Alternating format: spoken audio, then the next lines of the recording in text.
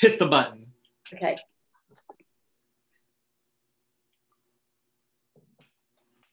We are live, Zak Foster. Hi, Rachel. Yes. we are live. So, this is where I finally get to grill you. It's taken me how long have I been stalking you and, you know, hopping onto your chats and leaving messages? Hey, come and see the monkeys. And you've been like, who is this crazy girl? But here I am. Patience is a virtue. What can I say? But it was worth the wait to get you here, lovely Zak Foster. It was worth the wait. So welcome, welcome to um, our live at five chats. Mm-hmm. Um, this is where we just sit down and we have a, a lovely chat for an hour. We never know where it's going to go. If you've seen our previous chats, Kim was dancing, so I'm expecting you to get up with the headband and do some Saturday night. No, thank you. um, but we just have a lovely talk about, you know, I was going to say quilting, but it's more like life and quilting and art and what it does for us, and definitely community. And so that's why you tick all the boxes. That's why I wanted you here because you definitely tick every single one of those boxes. You are very much into the community, very much into art, very much into your quilting, your sewing, um, sustainability, uh, the memory quilts, the burial quilts. It's just, you know, there are so many.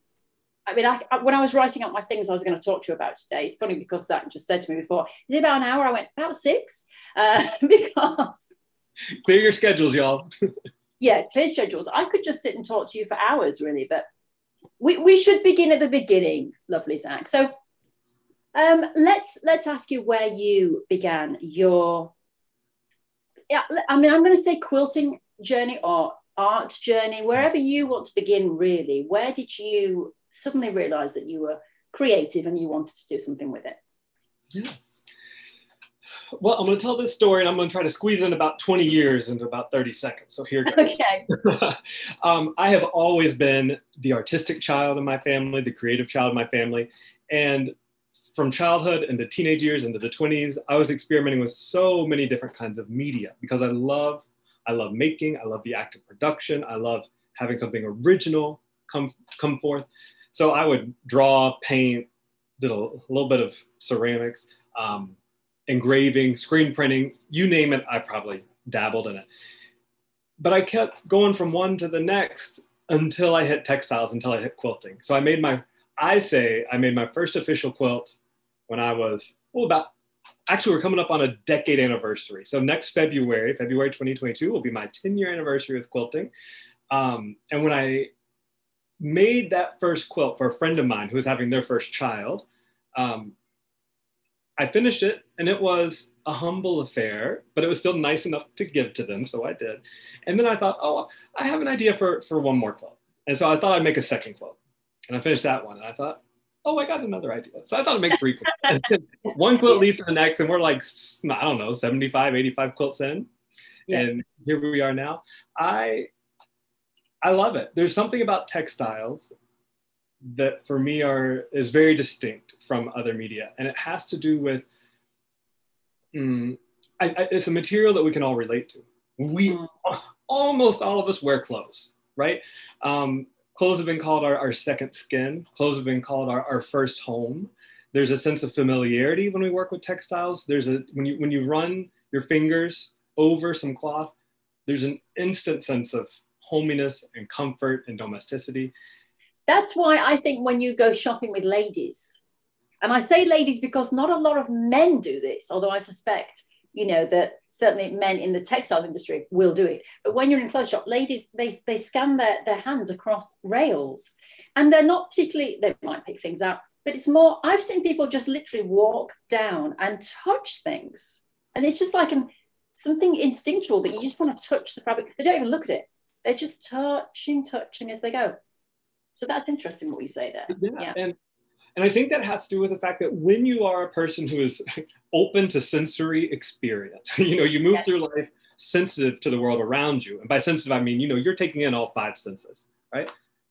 You, you want to experience it as full as possible. I find myself doing the same thing. You know, I, I shop with my eyes first, but my fingers are very close second. I would never, I, I, well, one, I don't buy a lot of fabric, but in the days when I did, I almost never bought online because if I can't touch it, I, I don't know what I would do with it. So the two go yeah, and you know, and it's and it's and it's so true that when you buy things online, because of the way that everything is photoshopped, um, that things come back and you go, oh, that's really cheap and nasty. You know, it's not at all what you're expecting. So yeah, I think I agree with you. It's better to to find those fabrics. And you, you said there about you know not buying many fabrics. So you know one one big thing that I love about you is this kind of sustainability um, angle but not just that because of course that's a it's a, a great word at the moment and it's very important it's very important i mean even the clothing industry i think is trying to get into the whole sustainability and making better garments and recycling and things like that um, but I, I think it goes further than that than, than the sustainability for you this is what i was saying to you just before the interview what i find fascinating about you is just the way you were talking there with your hands as well it's this kind of going back to the earth. It's this grounding thing about you. Everything that I read about you, everything is an organic process. So you, when you design, you don't start with an idea, do you? I mean, you don't know where you're going. Is that right? Yeah, that's true. I, I often don't have a plan when I first get started. Um, and I would say that for me, sustainability actually, I don't think started as sustainability in the, we'll call it the organic hippie sense. Um, my sun sign is Virgo and my moon sign is Aquarius. So when's, my, when's your birthday? When's your birthday, Zak? September 21st. Mine is September the 13th. Oh. so I, when I think about that, um, I think, okay, so so us Virgos, right? Virgos. We, we, we like efficiency, a lot of us, productivity. Do. I don't yeah. like to waste things, right? Like I'm the Virgo who has all their keys organized on their keychain because these are the ones for the apartment and these are the ones for work, right? That kind of thing. Yeah. That's yeah. me. Um, that doesn't mean that I'm perfectly clean all the time. Like, check it out. Check it out. like, doesn't mean ain't Virgo. That ain't Virgo. That's the Aquarius side. That's the Aquarius side. And so I, I, I, I don't like to see anything wasted. And so for that reason, that's I think the original impulse for why I started composting, for example, because I couldn't stand the idea of just throwing things that still have some kind of intrinsic value away. And um, so for me, I think sustainability didn't actually really start as an environmental impulse, although it has definitely become that. It has opened my eyes over time to mm. that. It really mm. just started as this inner chord in me that just doesn't like to waste anything that still has value but also as well um, Chris English is, I think you've maybe come across Chris English, and he's one of our lovely tutors who's just started working with us. And his big thing is um, that he will just go on, he goes to markets and he'll buy a, pair of really old, oily, orange overalls, and then he will put them into his quilts. But I know part of that, again, is sustainability. Um, he also talks about cost. You know, he said, because if you can just buy a pair of overalls, you'll just cut it up and play. If you buy something that is 20 pounds a meter, you are not going to cut it up and just play. And it's always going to be stuck in the corner for best. And I always say, don't save anything for best because best might never come. So if you buy an amazing outfit, wear it. Just go down the street and wear it. Don't save it for something. But he also talks about he loves the idea that someone has worn those overalls and they've put their life into them. And then he has given them a new life. They're just going to put in the trash and then he's given them a new life in his pieces of art. And I, is that the same for you? Is that is that kind of the feeling as well? Ish. For me, yeah, a lot of what Chris says there resonates. For me, so much of what draws me to quilts are the stories behind the quilts, the stories behind yes. the fabrics. Yeah. And I feel when I work with repurposed material, automatically tuned into something larger than myself, someone else's life story. And I'll give you a, a really good example of that. Um, a lot of my work revolves around memory quilts. And yeah. I was commissioned in the last year to do a series of three memory quilts for a particular family. And they gave me all the clothes. I got like four trash bags full of button up shirts. And I made one quilt, look good, made a second quilt, very much in sync with the first, look good. They loved the first two. And then I started to make the third one and I don't know what came over me, but it, it just took a, a, very it took a sharp turn to the right from the first two. And what I started doing was I just was playing here on the design wall behind me, putting fabric up, and I took this beautiful chambray shirt and cut it into kind of organic blobs. And I just kind of arranged them in size order, more or less, some kind of nice little collection. And I said, oh, this could be an idea for a quilt. So I sent him a picture, like I often do when I'm working with a client. I was like, what do you think of this general direction? Are you, are you on board? And I said, be honest with me, because I realize it's different from the first two. And I said, maybe I just like it because this reminds me of collecting sea glass on the beach when I was a kid, and I would sit there and organize it like a good Virgo child would, right? Yes. so I sent them that whole message, you know, that whole thing that I just told you. And they wrote back, and it still just gives me goosebumps to think about because they said that was Trey was the name of the person who we were making the calls for. That was one of Trey's favorite things to do was to walk down the beach and collect sea glass. Oh, that's so Rachel, nice. I don't know where that comes from. Wait, I don't know what those stories are, but I think I attribute at least part of it to having spent so much time handling Trey's shirts, talking yeah. to his family, getting to hear the stories, seeing pictures, thinking about who this person was. Um, I'm going to say even being with him in a sense, right? Because I found myself um, talking to him while I was working. We just recently had a conversation with Latifa Saafir, and she made a memory quilt for a black man who was shot by the police here in the United States. And she said something very similar that she found herself not in like a woo woo mystical sense, although if you do that, that's fine. I got no problem with that. But she said she found herself just talking to the guy, saying, you know, we're doing this because we love you. We're doing this because we want to bring you peace. And I find myself engaged in similar conversation when I'm working with memory quilts. That's and so, so But that's going to come through in the work. Yeah, 100%. Because I would never have made that quilt from store bought fabric. Mm. It would not have happened. No. And that no. story would not exist today. No. And if you'd, you know, if you'd gone down the sort of, you know, it reminded you of those glass pieces on the beach and you'd gone to buy a fabric, you would have bought something that was quite literal. You would have, it would have been something that had shells on it or something. And then it becomes, what's the word? It becomes then too um, contrived. Yeah. Oh, here's something about the beach. So I've got shells on my fabric. Yeah. So you know what I mean? So then that's that's why you know it take, takes a different turn. I I love that. I was reading about your because obviously I know you know, the three keywords with you were sustainability, memorable, uh, memorable, uh, memory quilts, and the, the, burial quilts. Now, the burial quilt was a new thing for me because I knew about the memory quilting. We've done some memory quilting classes here, but the, the burial quilt was a new thing for me, and I read it. Um, and what struck me, because at first, I'll be honest with you, at first I thought, hmm, okay, so you're going to commission a quilt to just have someone wrapped in and bury them. And I thought, okay, that's a bit of a shame because it's going to be a beautiful piece of art. It's just going to go in the ground. You're not going to have much. But actually, as you said, you can have one now. And it's something that is, you know, you have it around you through your life and then you take it with you to the next stage. Um, but I, there was just something for me, what struck me was reading about when you wrap that person up and you put them into the ground and that kind of that comfort thing. Because if you put some, you know, oh, I don't want to get too graphic with this, but if you put someone in a box, as you were saying, where do we We don't go back to the earth. We don't go back to the earth. How does it get through steel? How do we get through steel? So we're not going back to kind of where we came from.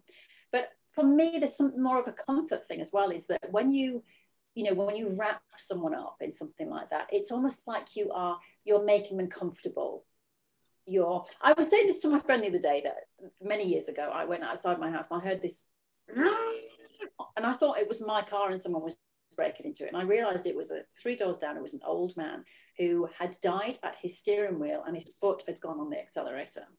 And by the time I mean I was very young at this point and by the time I got there and I was in panic because I saw this man I thought I think he's dead. I've never seen anybody dead before and I felt his neck. He was gone and so I moved his leg off the accelerator, turned the car off, rang the police. And I said to my friend, you know something really weird? In that time, I knew that he was gone, but I was stroking his arm going, it's okay, it's okay, it's okay. Because he was on his own and he was old and he'd gone, but I was going, it's okay. And I feel like your quilt's are the same thing.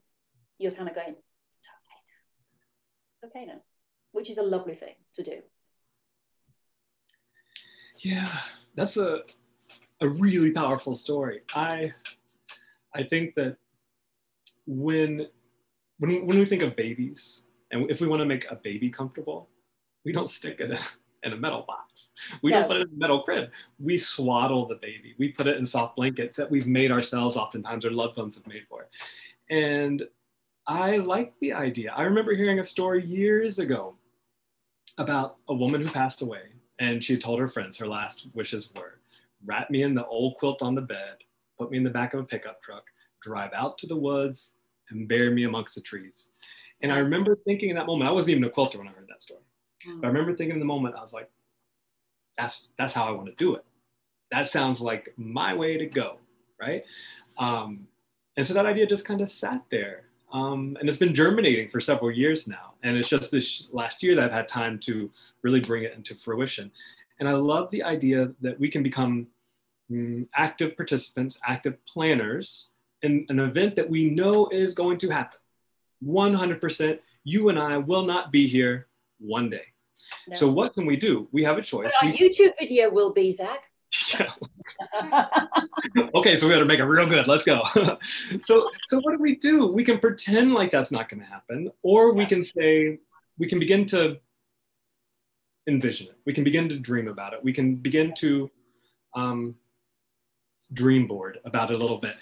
And I have I have a quilt that's going to be my burial quilt. Still needs to be all quilted up. It's just the top at the moment.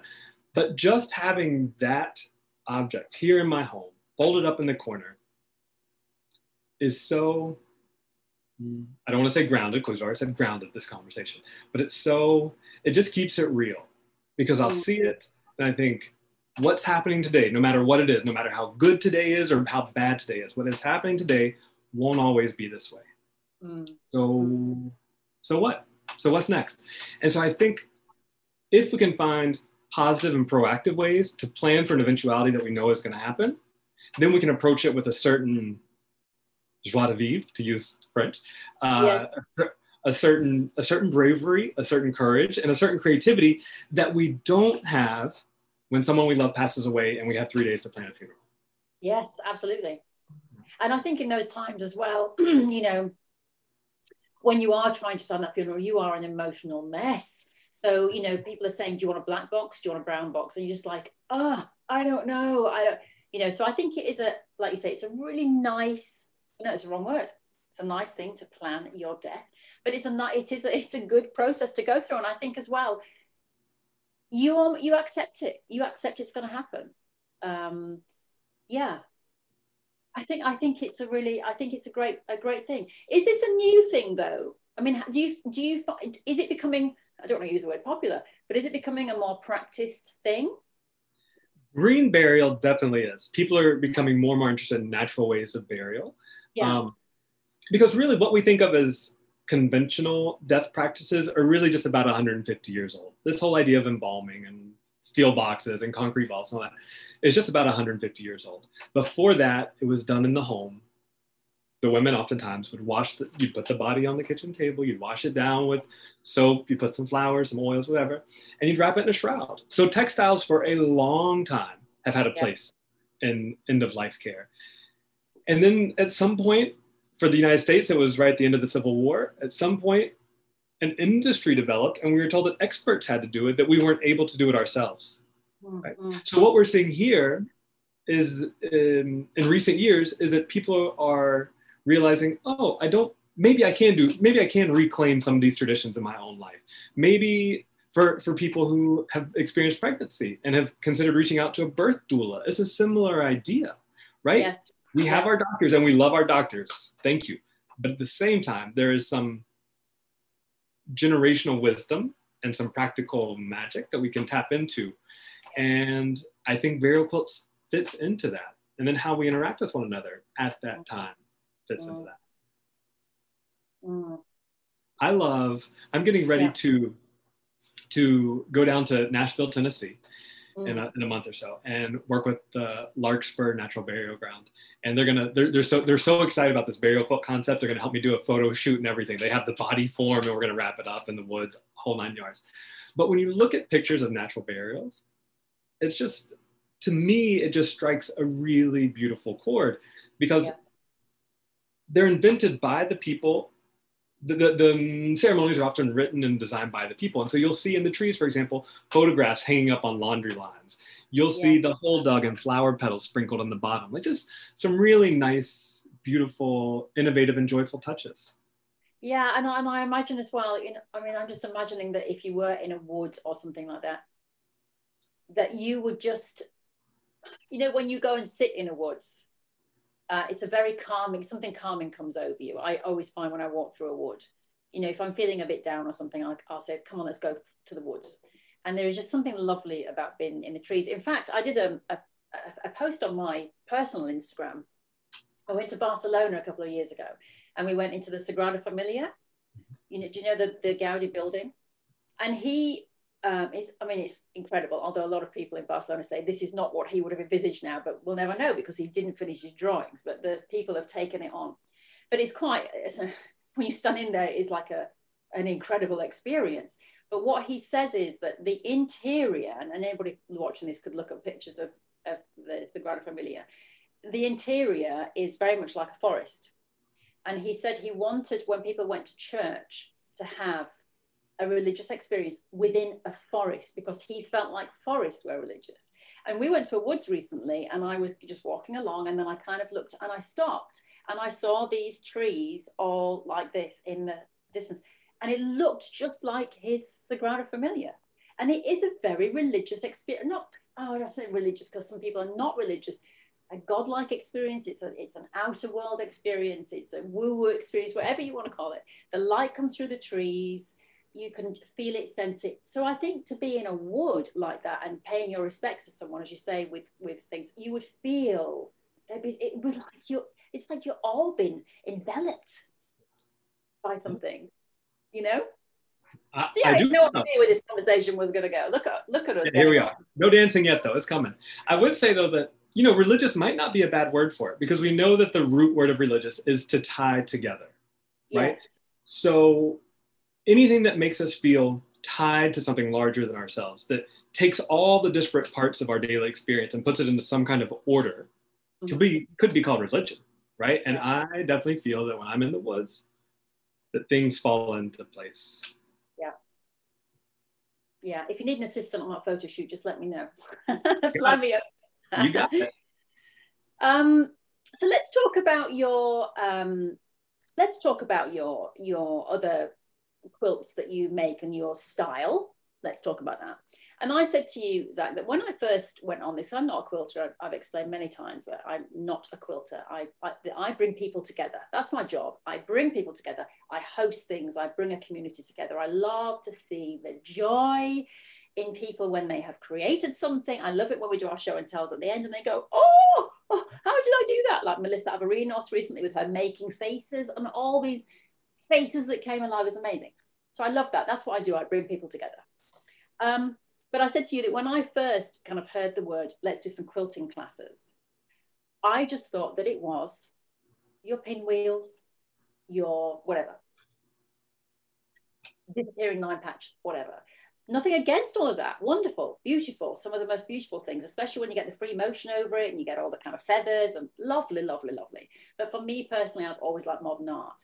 And I just thought, oh, I'd really like kind of modern art quilting? Is it out there? And then I had no idea. And I think you were one of the first people that I came across on Instagram, and I was stopped in my tracks by one of your quilts and just went, whoa. But actually, um, it goes back a long way, the kind of modern quilting, the improv quilting, isn't it? It's one of the first kinds of quilting that was there, according to Nicholas Ball, because I was asking him about it once. A lady asked if Nicholas had invented improv quilting, and he said, I'd love to take that credit, but no, I haven't. I love that.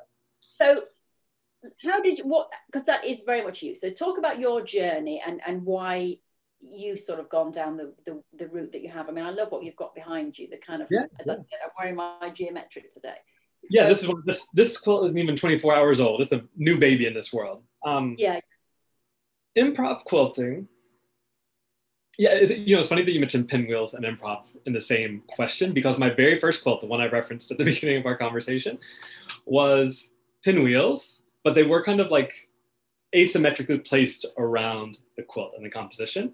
And so it's interesting looking back at that first quilt to see what threads continue into my work today. Um, don't have any pinwheels, but there was that uh, there is, as you can see, a similar asymmetry that's still running through as a current, and some of that fabric was salvaged material, and so that's still running through. It was also very bright and joyful, so that's another current. Um, but improv quilting has a long. Do you, do you always do bright and cheerful? And then we'll go back to that question about um, I, no, I don't always do bright and cheerful. No, my, in fact, my next quilt is going to be an all black quilt. So okay. we're going from one to the next. Yeah. So, um, no, but I do hope that there's, That I think there's often a joy in my quilts, and I hope there's always a realness, you know? Um, yeah. So I work in a style of quilting called improv quilting that has a long history. You know, some people says it started with the crazy quilts of the Victorian era, in which mm-hmm. people would make squares that had no predetermined pattern on the inside, but then they would take the squares and then they would basically make a traditional grid out of them. Um, Gee's Bend gets a lot of credit. I think they should get most of the credit for this yeah. improv style of quilting. Um, you know, I was amazed at that actually because I was I was kind of researching you, Zak, and I know. Um, I mean, I just I wrote a quote here actually, and I and I'm really glad because obviously you know there are areas about the whole Gee's Bend thing that's yeah, difficult, difficult to talk about. But it said here, um, hailed by the New York Times as some of the most miraculous uh, works of modern art America has produced. Gee's Bend quilts constitute a crucial chapter in the history of American art and are today in the permanent collections of over 20 leading art museums. And that is fantastic. And I was looking at some of the people that you were interested in. Irene Williams, I didn't know her. I had a look at her. Oh, wow. And there's a great picture because of course she's she's passed on now, hasn't she? 2015, yeah. Yeah, 2015. There's a great picture of her hand, just her hands on this quilt. And I read about her and she said, I don't make quilts to be perfect and to be pretty. That, that's not what this is about. Oh, and I looking at her work today, I could definitely see your inspirations. But but I was very shocked. I was very shocked that this modern quilting was what she was doing so many years ago. Mm-hmm. Mm-hmm. Yeah, I always say that Irene Williams, like if I, if I had that perfect dinner party, that yeah. she would be at the table because um, I, I, think I would probably just be too shy to talk to her, to be honest. But I would want to pick her brain and see like. you. I think she'd want to stroke you. She'd want to stroke your hair. Oh, I come here, Zak. I would love to think that. Yeah, for folks who aren't familiar with Irene's work, she one of my favorite pieces. She just took two basketball jerseys, cut them down the side, and then sew them together side by side, hold into a quilt, and it was done. Like, and it's just so like, and of the of the artists of Gee's Bend, she was, mm, I don't want to say the only one, the only one I'm familiar with that was doing something like that and not something more like this improvisational pattern that we see here. Mm-hmm. Um, but yeah, so G, without a doubt, Gee's Bend quilts are being considered art, and I think it'd be an interesting question to ask the makers of Gee's Bend. Um, if, if they consider it art, to what extent they consider it art. Mm. Because to a point, I would think that a lot of it was just driven by what they had on hand and yeah. the desire to keep warm and comfortable and to make something for their family, yeah. um, which doesn't sound like art to me, but it can. I don't know. I'm a white guy living in the 2020s here in Brooklyn, New York. But yeah. th- that would be a question I have because a lot of times with the, art has a lot of baggage right? The art world is a very particular world. And I, I don't think they would say they were striving to fit into that world when they were making clothes. They were doing it from some deeper inner need, I would imagine. Um, but I, I'm so glad that they were able to take the elements of their lives, difficult though they were and challenging though they were, mm-hmm. and give the work, turn them into through some kind of alchemical process into something beautiful for the world that um, allows other people to also experience materials in a new way that we weren't before we saw the quilts of Gee's Bend. You know, mm-hmm. before the quilts of Gee's Bend, we were grabbing our rulers and we were cutting very straight lines. And again, nothing wrong with that. But there's just another way, right? And I have found my home in this other way. And yeah. I have found that improv teaching has taught me, uh, improv quilting has taught me a lot about life. It's taught me about um, the value of imperfection, that imperfection, that something can be beautiful, not only in spite of imperfection, because you don't notice it maybe, but also because it's imperfect, right? That Japanese idea of wabi sabi, that Um, for something to be truly beautiful, there has to be a part of it that's just a little bit off. Um, improv has taught me that like it's, it's okay just to go with the flow. And I, I look at a quilt like this, for example, and I think, okay, I didn't have a plan when I started this necessarily, but I'm very happy where it turned out. And if I can do that on the scale of a project, what can I do on the scale of my life? Right? How can I scale this same philosophy up into a philosophy for living? Yeah. And that's what I think I will be eternally grateful for the quilters of Gee's Bend for having refined, honed, created this the school of thought, the school of making. Yeah, and something to, as you say, something so positive to come out of something that was a very, very dark and difficult time. So that is a, a, a as you say, it's a lesson for us all. Let's talk about going on from that, uh, Corona, and how it's affected you. Because I know, I think I read, well, I know that after the election you kind of stopped when Mr. Um, we know him when he got in. Uh, not this one, the previous one. Mm-hmm. Trumpy pants. When he, Mr. Trump, I should call him, but let's let's be respectful, Mr. Trump.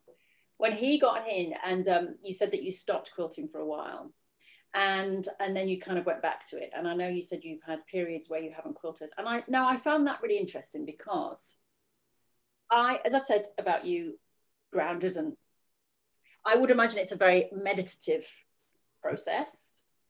So I would have thought that would have been a really good thing for you to throw yourself into, but you didn't. It would have been. so what happened? What happened? And how has Corona affected you in the last year and a half? Because I know we were just saying before we started this interview that you know, a lot of my friends are struggling with it. I'm struggling with it. I'm struggling. You know, things are changing, but also just just like it's just life, isn't it? Everybody knows their own struggles. So how, how has it affected you and your creativity? Because Janet Clare, who I was saying was one of our tutors, she said the other day, creativity, she designs fabric for Moda, relies on your soul being fed. And she said, I feel like my soul is shriveling because she's not been able to go out into the world and see things. I know we've got woods and things, but other things and museums and art and things were closed for so long. So, and I do feel like there has been a big pause in the world, and now we're trying to catch up. It's like, you know, the films that are coming out, it's like, where, where are they? Because we had a big 18 months. So, how has everything affected you? Yeah, there's a lot of ways we could answer that question. I'll, I'll go back if you want to 2015 for just a moment and tell that story because it might strike a chord with some people watching this now. And that is that when the person won the White House that I had not voted for, um, it just shut me down creatively, right? I just could not believe that there were that I had so many people in my own family, so many people in my own community that supported someone who would embody such ugly tendencies in us.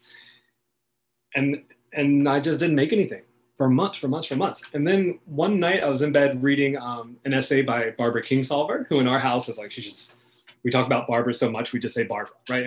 And we know who we're talking about.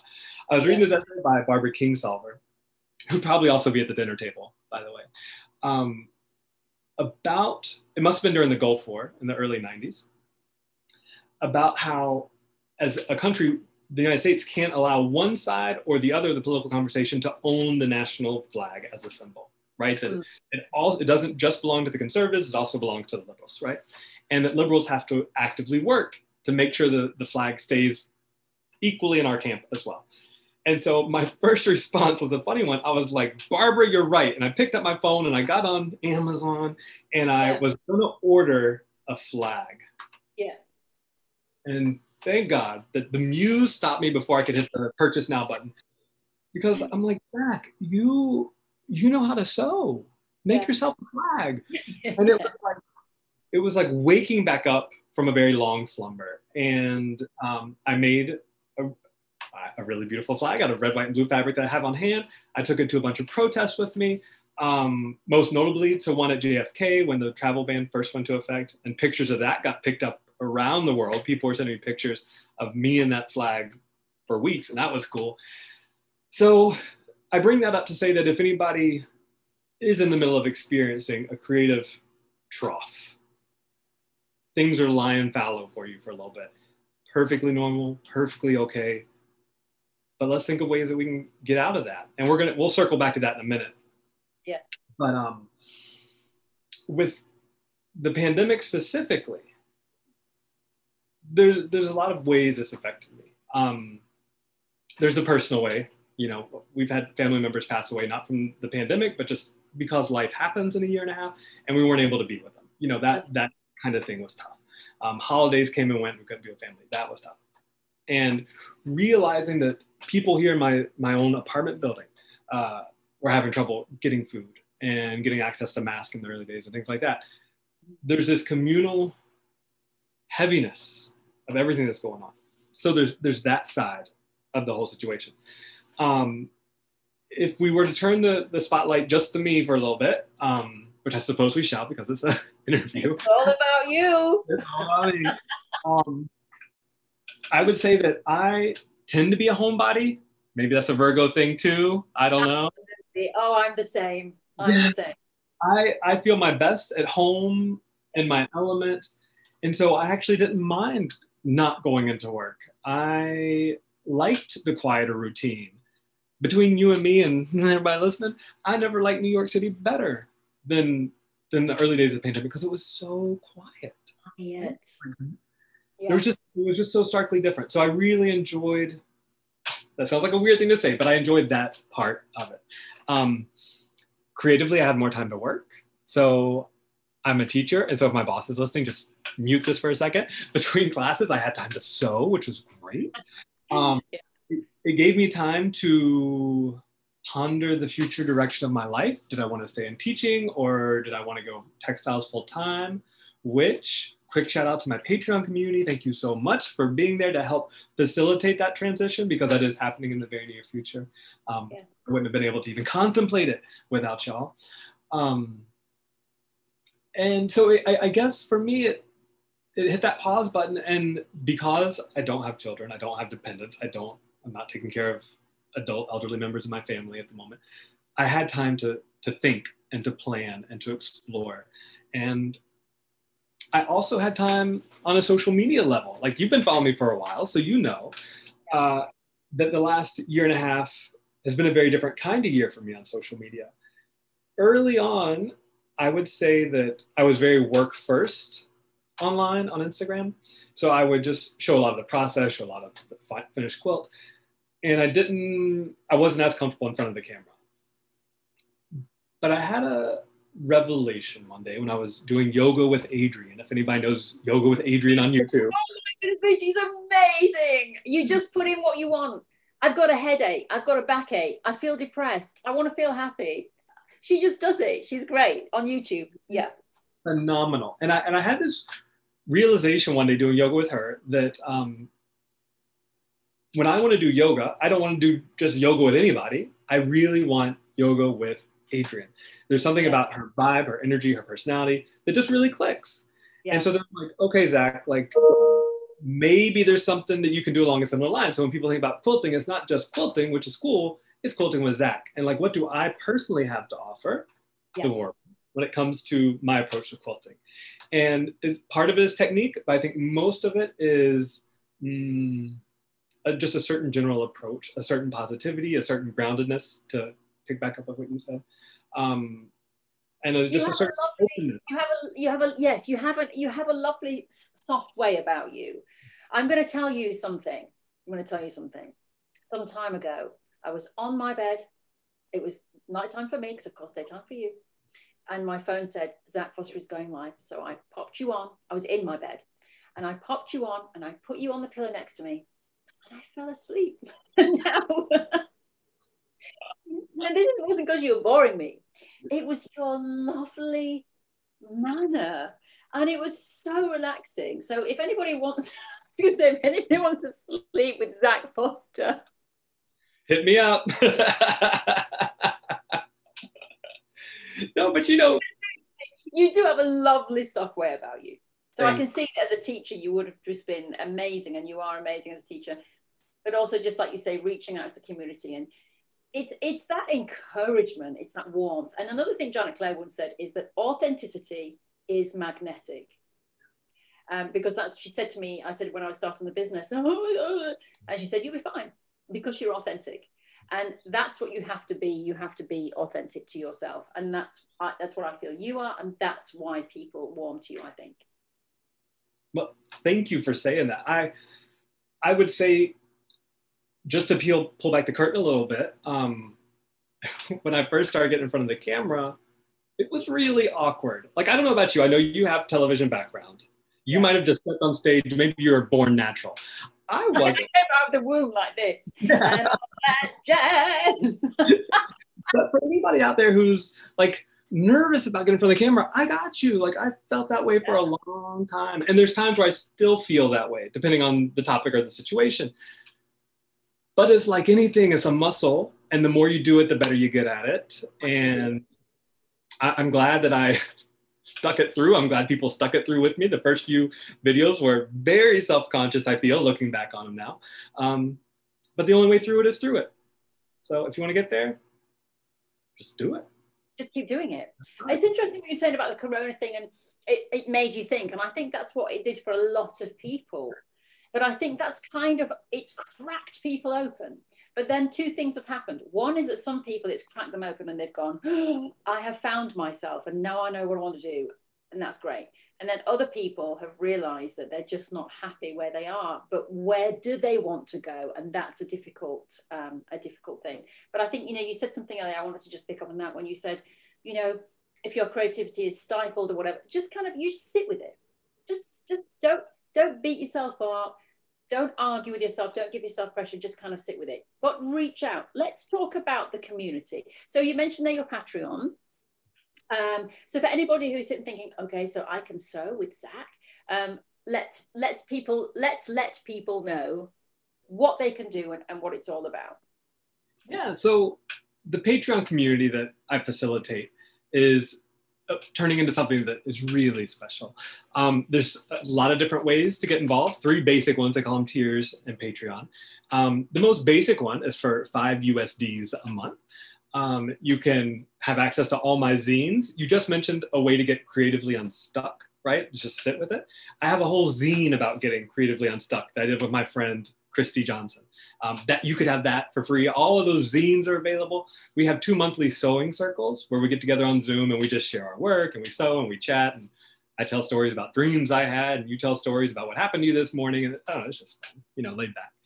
Um, uh, sometimes I have workshops for folks to attend.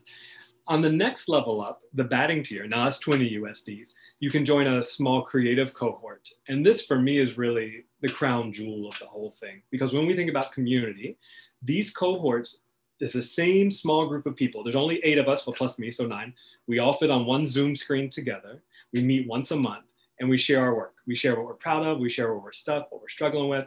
We share new techniques we're experimenting with, um, tips and tricks, all kinds of things. But yeah but by meeting every month, we really do establish these micro communities that uh, become very nurturing. And I'm excited. I think I'm kind of a proud, proud parent. Maybe this is how parents feel. Because two of my cohorts right now, I think we have six, maybe seven. I, sh- I should probably know that.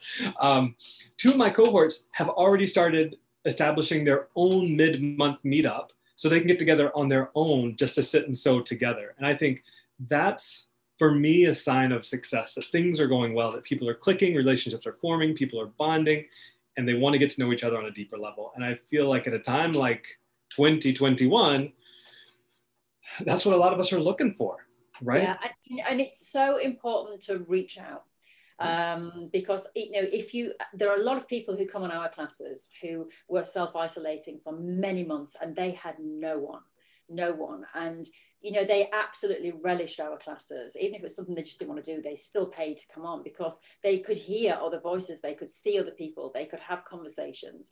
Um, but what's great is it's people around the world now. So, um, you know, I do remember the first person that ever came on one of my classes that wasn't in the UK was a lady in New York. And I remember opening the Zoom window and saying, Hey, ladies, and we have gents as well hey ladies, guys, how you doing? Da, da, da. And oh, Barbara, hi, and Betty, hi, and la la la la la. And then I said, is anybody not in the UK today? And this voice just came on and said, hey, I'm in New York. And I remember just going, ah, how has that happened? How did you find us? Uh, but it was amazing. And now I think 30% of our audience, 40% are Americans. Um, and it's just great to be building that big community. And you just, it's really important that if you are watching this and thinking, how do I get into this quilting and sewing? And I, I'm not very good. I don't know what I'm doing. I don't even know what a quarter inch seam is. What do I do? Okay, start watching stuff, stuff on YouTube. Join a club like you've got, Zak, with your Patreon you know where you can learn from other people do some online classes there are so many classes around you know we've got loads there are lots of people providing them and just start to ingratiate yourself and just take it a step at a time and you will find that as you do that it's like spider legs isn't it you think people will form as you say those people got together now they're getting together mm-hmm. you know so it's a good thing it's just about being positive it is because a lot of people i think what what you do with your classes and what i do with my cohorts kind of fill this in between spot that's beginning to expand. Yeah. That is, we've had social media for a while with these kind of disparate tangential relationships, and we've had our personal friends and family relationships. But now there's a space in the middle that's growing for online classes, which are kind of one offs a lot of times, right? Some of them repeat, but are, are limited in time. And then you have the cohorts that I'm doing. And it's funny that we spend a, a fair bit of time talking about classes and conferences we've attended right? So I kind of see cohorts kind of filling in the gaps as the grout between the bricks, between all these class offerings and conferences that people are attending. And it's a way to, if anyone is feeling like, how, how do I kind of bridge all my online friendships, relationships, and my real friends? Well, things like online classes and cohorts are a great way to, to kind of tease out a new social space for yourself. Exactly. And I'll put all the details for your uh, Patreon uh, club and everything in the, the description box mm-hmm. underneath it so people can click and go. Let's talk about um, a couple of things that you actually we have got. Let's just see if I've got any questions first of all, because we have got a few people watching. Rachel, Rachel, while you're looking, this might also be a good time to mention yeah. upcoming workshop that I've been working on. Um, okay. And in context with COVID and how it's cracked us open in a way. Um, yeah. So I have for 10 years plus been doing morning pages. You know, Julia Cameron's The Artist Way practice of writing for a set period of time every morning. Um, yeah. I've done it perfectly, but I have done it more mornings than I've missed, right? And I've found that practice of journaling every day to be a very, mm, it, it, it, it's a pathfinder way for me, a pathfinder practice. Because a person can only complain about something so many days in a row until you're like, well, damn it, I'm just going to do something about it, right? And so it's this way that we can begin to see the where we're stuck in our lives and become unhitched, right? And so I've, I've had that as a, as a foundation. What I've started doing this summer and has been really enlightening for me is layering on top of the morning pages a morning mandala, right? Yeah.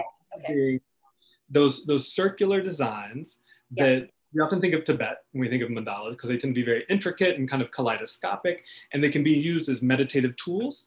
Um, the way I use it in my practice is I will just wake up in the morning and before I'll get my cup of coffee and I will just sit there quietly and I'll just draw my circle and I'll say, okay, self, what, what, what do you need me to know right now? And then I just start drawing. Yeah. And every single morning without fail, a message has come forth from the subconscious part of me, which Carl Jung would say makes up the vast majority of who we are. The, the parts of us that we're aware of is just yeah. the skin. Tiny, tiny. Tip of the iceberg. And yeah. so being doing this kind of free-handed drawing yeah.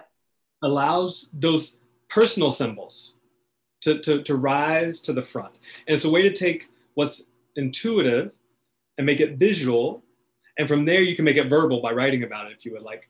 Uh, but it's become even more enlightening and maybe it's because i'm a visual person right? Uh, it's become even more enlightening because i look at these mandalas that are abstract but don't take abstract to mean meaningless or empty because i look at that and i'm like holy cow that is how i'm feeling or that that is a good way to frame what's going on right now in my life right? Um, there's a lot we could say, but um, I would just say that I think during this time where folks are really struggling with being in lockdown, being isolated, with the unknowns of what the world's bringing right now, it's more critical than ever that we are in tune with how we are feeling, that we are connected with that inner strength that we have. But we got to take the time to get to know it, to get to know ourselves. And so yeah. I, have been developing and designing um, a workshop that's based on a daily mandala and journaling practice that is also based on the lunar cycle because we say that the, the moon is the original mandala because it is a circle that shifts and changes, right? Yeah. So for the for the first lunar cycle, for the first 28 days, we'll, we'd meet weekly and we would share a significant mandala from the week. And we could talk about how, what insights we gained. Then you're going to have six weeks off. So a lunar cycle and a half from one new moon to a full moon in the next. And in that six weeks, you would take the previous mandalas that you've been making, all those insights, and translate them somehow into a quilt, a textile piece, or the media of your choosing, right? So it could be embroidery, applique, anything. And then we'll come back on that full moon to share out the culmination, at least to that point, of the insights that we've had through this mandala practice. And so right now I'm currently piloting, I'm, a, I'm gathering a pilot, a small group of eight folks, again, so it can fit on one screen together. Um, if anybody's interested in that, find me on Patreon. There's going to be a link there and then we can communicate more about that. Yeah. And um, yeah, if anybody's interested, maybe on your Instagram as well, they could DM you, could they? Sure. Yeah, yeah, yeah. I know some so people are about DMs, yeah. but I'm, I'm happy. Feel free to message me privately. Yeah. Um, okay, once again, I'll put all the details underneath. I love that. Did you see our? I don't know. I don't think you were following us then. this year. I mean, even though I've been following you for like 25 years. Um, Sorry. I'm following the, other day, saw, the other day I saw Zak Foster has followed you. I went, finally. Uh, um, I don't, I don't know if you were aware in, in February we did the monkey motivation and we put out a prompt every day in February for people to do something. And one day it was like, go outside and find anything that is red and just look at it. That's all. It would just what we wanted to get people to do was go outside and just to to get just go outside instead of just sitting in the four walls in lockdown and getting depressed, go and look outside and find something red. And then we did other colors. And then we did a drawing thing where you had to look at an object and just draw it on the paper and not look at the paper, just look at what you were doing and that kind of thing. And then inspirational quotes every Wednesday, etc. And you know some things that it was received so brilliantly well. It was better than we ever could have imagined. I mean, it was nice that people were saying, I didn't think I could draw, and now I have. But it was also great how people were saying, These prompts are keeping me going. Every morning I wake up and I look for your prompt. And even if it's something that I don't do, I'm doing it because it's keeping me going. So I think your mandala class is a brilliant idea. I wish I thought of that. Uh, That's Maybe really, really good. Happy monkeys too. Maybe we can work that out. Well, I think you know we need to do something. We should we should look at definitely doing something together. Let's bring America and, and the UK together. And definitely I love this idea of mindfulness and positivity. I love it that you're into your lunar cycles. So you'll know all about Lionsgate Portal at the moment then, won't you? Lionsgate Portal? Do you not know about that, Zak? Oh, oh, oh. What is it? Lionsgate Portal. It's apparently on the 8th of August, it happened where all the planets aligned and it meant that we were able to push through, find our higher selves, um, get rid of any bad karmic relationships and things that no longer served us, serve us, find our purpose. And this whole energy was kind of surging through the planet. And I tell you something, I went through a wobbly few days, and a few people I know did, and they were all saying to me, What's wrong with me? I, oh, I feel like my head's exploding. And I said, it's Lionsgate Portal. And most of them think I'm crazy. My husband just goes, What? It's just a moon. Mm-mm, mm-mm, mm-mm, no, that's doing something. Mm-hmm. so you need to read about the Lionsgate Portal. Let's see what people are saying um, on there. So um, Christina, she was very excited about this celebrity chat with Zak Foster. So uh, I hope Christina's enjoying it so far. Nicholas Ball is in the house. Hey, Nicholas. Nicholas. My decade anniversary is 2022 to Zak. And then he's saying, party perhaps? I, I, I say let's do it. I think Nicholas, you and me on a plane, let's go see Zak. Because I want to go to Brooklyn. I don't mind coming your way either. Hello. No, no, no. I want to go. To, I want to get out of this country. I've been here too long. Come on over. I'll show you around. okay.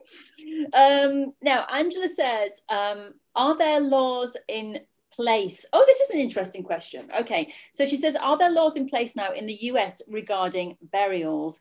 Um, like, can you legally put a body in the ground that is not in a box? Just curious. That is a good question because I did think when we were talking about the woods, I thought, I'm not sure you can just turn up to a woods and just bury someone in the woods. So I did that did cross my mind. So what are the laws? So in the US, I can't speak to the UK, uh, but in the US, Angela, um, it is state by state. But in almost every state, you can bury a body on private property. Uh, in no state are you required to embalm a body, and in no state are you required to have a coffin or the concrete vault. These are things that tend to be policies set by cemeteries themselves. Um, especially when it comes to concrete vaults, because what that does, it allows the ground to stay nice and flat because they want the whole thing to look like a golf course, right? Yeah. So cemeteries want that pretty look. And so they have these certain policies. And a lot of people assume these policies, which are really just company policies, are actually laws when they're not. Okay. It's, that's, that's good to know. It's good to know. These are things that you may think, oh no, you have to be in a coffin. No, you don't. No, nope. you don't. That's good. Yeah, that's a great question. Yeah. Thank you. Uh, Tanya said she loved that we were focusing on this topic, and I think that was when we were talking about the whole uh, burial quilts and memory quilts and that kind of thing. Uh, Gary Mills, one of our lovely teachers here, love Gary. Oh, Gary's like you. He's like the salt of the earth, and he is incredibly talented. I mean, he's taught textiles for years. Um, there's nothing that Gary can't do. He's just amazing, but he's also a lovely man, and he's well into the moon and meditation. And we've talked, we've talked about our our little areas that we have and we meditate and like I see feathers everywhere so I collect them and I've got loads of feathers now. Um, so yeah we're, we're, we're both into that kind of thing. He has said Zak do you prefer hand quilting or machine quilting? Ooh. I know you don't like finishing quilts. I saw you saying that, that you don't like finishing. Yeah yeah yeah. I don't like to quilt is, is the honest answer. Um, but when it comes to sewing I think it feels like the conversation right now in the quilting world is that mm, hand quilting by default is the preference, right? Like we should all hand quilt if we can. And if yeah. you can't, well, then you can machine, you can machine sew, machine quilt. Um, it always feels like machine quilting is a substitute for those who can't hand quilt, in other words. I went to an exhibit a few years ago at the Met called Manus Ex Machina, and it kind of shifted my thinking on this whole thing because what they had was haute couture garments. Some of them were hand sewn and some of them were sewn exclusively on a machine. And guess what? They're both exquisite, right? Yeah. There are things we can do with our hands and there are things that a machine can do that our hands can't. And so it just depends on what we're going for in the moment. And one's not better than the other. It's just what's your vibe. Um, I, when it comes to piecing, I almost always do it on machine because I want to get the vision down while it's still kind of fresh, you know? When it comes to quilting, my long arm, I usually just do horizontal parallel rows because I want the quilting just to kind of disappear so the color and the forms can stand forward. Now, when I'm making smaller things, little gifts, those are almost exclusively hand sewn because that's that's what handwork does, right? It carries those yeah. personal stories and that personal energy yeah, I love your little mini quilts that you make. Um, they're so sweet, and you just literally find bits and pieces, don't you? And then just make them, or you just make out of fabrics that you found. Um, I, everybody should go and have a look at your Instagram feed because they're just so sweet. And I think, you know, one of the things that is so daunting for people, there'll be people watching this right now who will look at that quilt behind you and go, that's going to take me like 15 years to finish. So I, I love the little pieces because they are finishable. You can finish those, you know. So I think those are great little things to do, little squares. In, in fact, so I got all I call them tiny quilts, and I've got all kinds of tiny quilts that I make. Um, one of them is called a day quilt because it's just a small quilt where from start to finish, from collecting the material to sewing the last stitch, you just do it all in 24 hours. Yeah. And it's kind of like a memory of the day, a scrapbook of the day. So if you can make one of those little things in 24 hours, what can you do with a week? You know? Yeah, I love it. I have to say, one of my favorite pieces of yours as well, uh, Zak, is the spoon quill. And did you really collect those spoons over what did, what did I read? How many years was it you collected those spoons? Well, it was the summertime.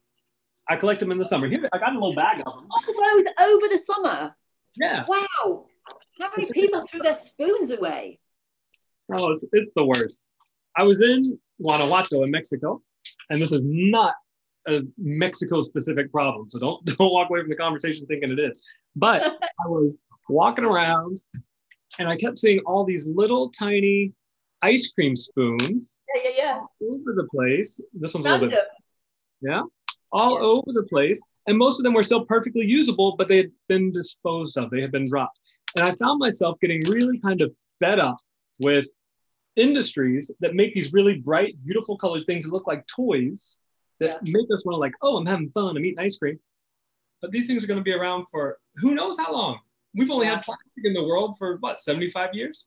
Yeah. So who knows how long this thing that I use for two minutes to eat ice cream is going to be on the planet. So what I did was I started collect. I was the weird gringo walking around the streets of Mexico collecting these sometimes dirty spoons. I took them home and washed them. I don't know if you can see, but then I burnt a little hole right in the Yeah, middle yeah, so, so I could attach it to a quilt. And if you go to my website, zakfoster.com, you can just search spoon quilt, you'll find it. Um, it, it I was love that quilt. I want that quilt on my kitchen wall. So because underneath it is a travel quilt. So it's all material that I found while I was in Mexico, hand sewn together. So it in and of itself is a beautiful piece. Yeah, but there lovely. are so many spoons on top that you can't even see it. And I think there's an apt metaphor in there somewhere when it comes to our consumerist habits and tendencies if we're not careful. Yeah, absolutely. Absolutely. That's you said that is a work of art. I imagined that when I saw it today. I was like, oh, that would be on a white wall in a gallery. And it's something that you would stand in front of and, and think exactly that, especially if you did a little piece with it. And you would think, all those spoons were thrown away over the summer. That's just craziness. What are we doing? Um, but you made something beautiful from it, something positive. But that's that's one of my favorite pieces of yours. But I, It's I also love the acoustic quilt I've ever made. Because when the spoons, when you if you move the quilt just a little bit side to side, Yeah, it yeah, just yeah. sounds like rustling grass. Or I don't know what. But just it's a very beautiful sound. Yes. Oh, it's very nice. It's very nice. So, you know, if ever you don't want it, you know, you can just put it in a package and send it. Okay, I got you, Rachel. I got you. I Okay. think I'm. Um, now, I really, I mean, what is it, an hour now? I've been chatting for an hour. Oh, I see, I could have gone on for like another five. But I'm going to ask my final question. We've kind of answered it anyway, but I'm going to ask my final question of you. Um, is that we kind of talked about it, but okay, I always say if you had a dinner party, you can have anybody who has gone and come back, famous, non famous. I always say, don't, I'm not sure any of you would include me, which is really sad, but I always, to get myself out of the fact that none of you would invite me, I always say, I'm there anyway, I'm hosting it. So I'm hosting your party. Which other three guests are you going to have at your table? Well, I've already named two, so I'm gonna give myself like five or six seats at this table. Is that okay? That's fine, you can have more. Because Pat Sloan said she wanted a she wanted her garden full of lots of people. I went, okay, okay, so Marquis. So we got what? Irene Williams, the Gee's Bend Yeah. Quilter. We got Barbara Kingsolver. I love her view on life. Um, her nonfiction, I love way better than her. Barbara, if you're listening, I love your nonfiction. If you've never read her essays, read her essays. Um, Carl Jung, let's just, the, the reason we can Yeah. talk about mandalas, the reason we can talk about things like extroverts and introverts, Jung.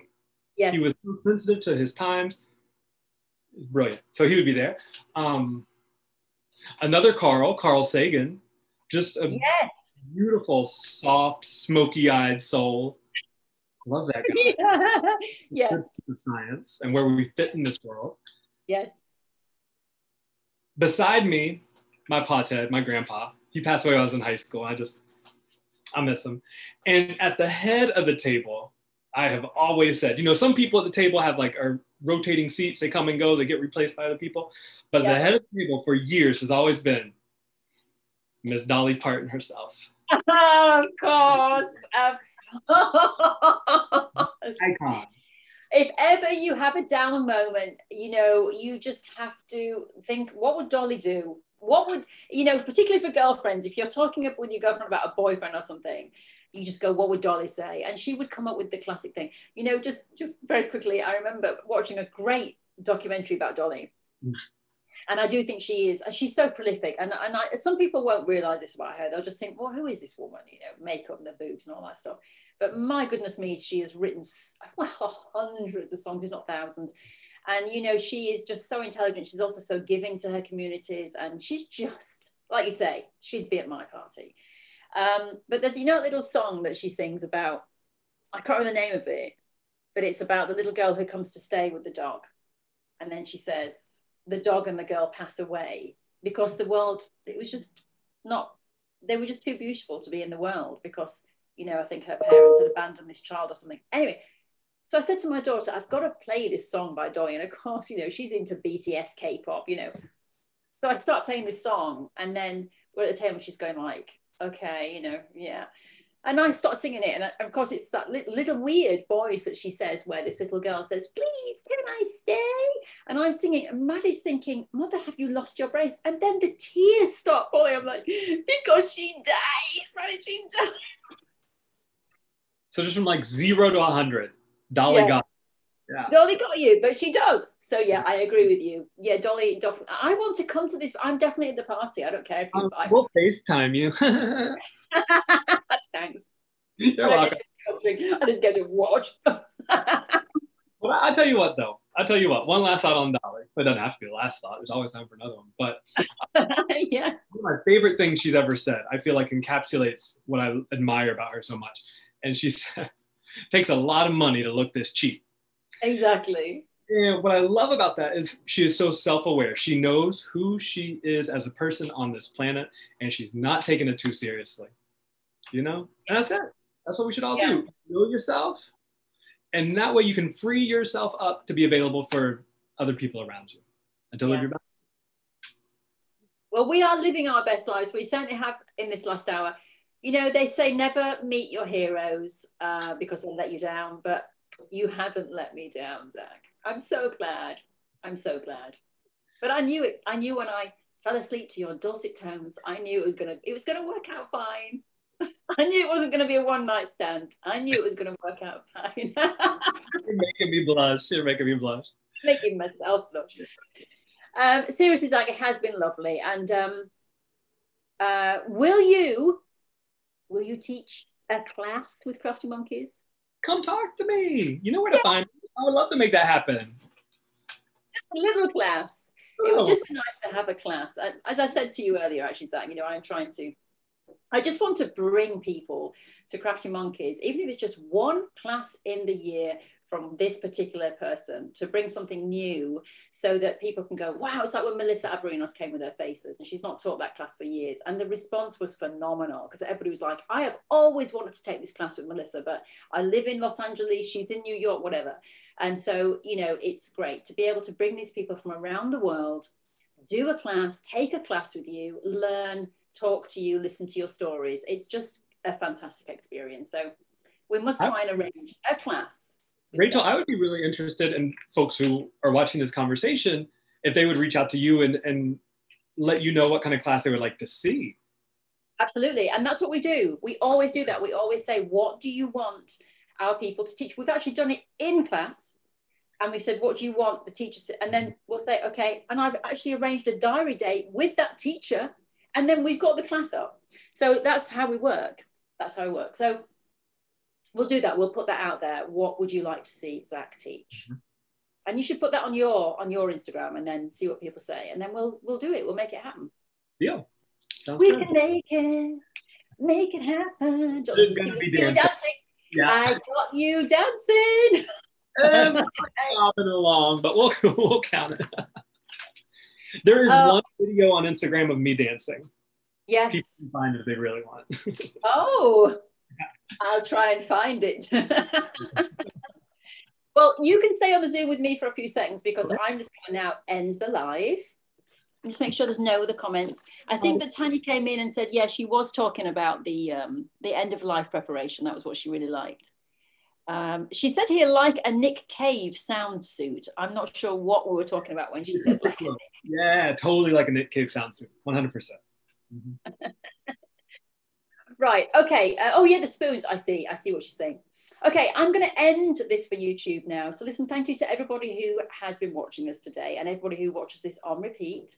Uh, it's been lovely to have your company. It's, of course, been lovely to have Zak's company. I hope that people have got something out of the chat. And uh, we will see you next time on another Friday at Live. Don't know who it's going to be. We just we just see we just see who comes along. So um, we will advertise it. We'll see you there. But thank you so much to the lovely Zak Foster. Bye.